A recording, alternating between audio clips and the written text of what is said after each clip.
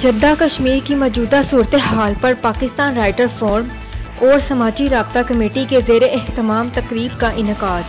معروف سیاسی، کاروباری اور سماجی شخصیات کی کثیر تعداد میں شرکت۔ مزید تفصیلات جانتے ہیں جدہ سے اپنے نمائندہ آتف علی وٹو سے۔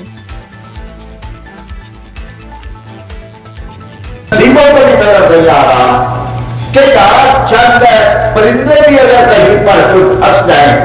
تو بریکنگ نیوز چلتی ہے بار بار ان کو دکھایا جاتا ہے۔ یہ انسان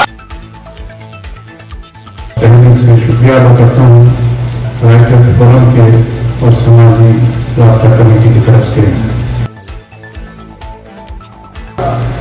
کشمیر جل رہا ہے اور لٹ رہی ہے عصمت کشمیر جل رہا ہے اور لٹ رہی ہے عصمت آنسو بہا بہا